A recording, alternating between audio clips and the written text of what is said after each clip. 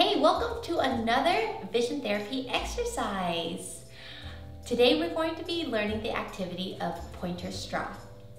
In order to play this game, you need to have a two-person game. So if you have a patient at home, you want to make sure that you have some kind of parent or helper to assist with this activity. I like playing this sitting on the floor, but you could also do it play sitting um, in chairs um, or across each other um, at the table. What you're gonna wanna do is you're gonna wanna take an eye patch and you're gonna have the patient patch an eye. Now when playing this exercise, the patient is going to have the pointer. So go ahead and hold that for me. So you want to imagine that there is an imaginary grid surrounding the patient's face with their face into the center box, kind of like a three by three. So three rows by three columns and their face is in the center. So you have an up, upper right quadrant, center right, and upper left. You have right, center, and left. And then you have down right, down center, and down left. So you ready?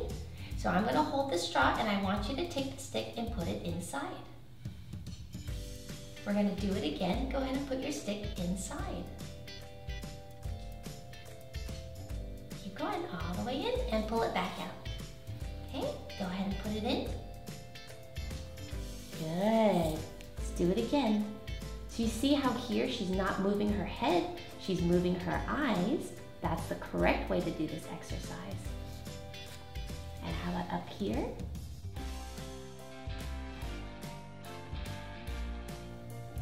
Keep going all the way in and pull it back out. Okay, go ahead and put it in.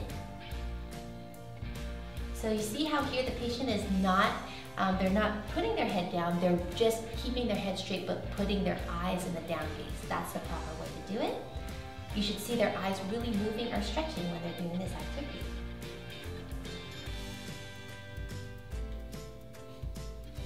You can also vary the position of the straw by putting it up and down instead of, um, instead of horizontal. And when you go up to the top, they can poke it from the bottom.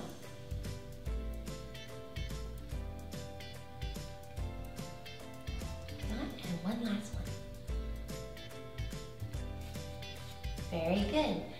What you're looking for in this activity when you're doing this exercise is one, accurate eye-hand coordination. Because the patient has one eye patch, they're going to really have to judge the space. And you don't want them poking around or just guessing. You want them to use their eye to really be able to see the tip of the straw to really guide the pointer inside. What you also want to do is you're looking for eye movements. So again, when you're going to the side or up or down, you don't want to see them turn their head. You want to have them keep their head forward and just turn their eyes to the different positions.